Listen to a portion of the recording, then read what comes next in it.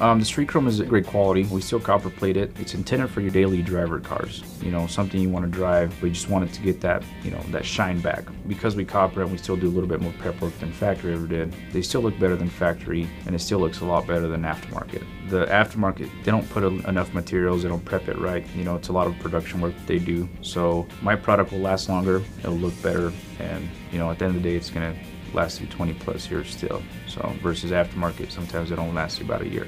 You know, I feel like what sets us apart from other businesses is we try to take every customer, like I said, personally. You know, we take personal every customer.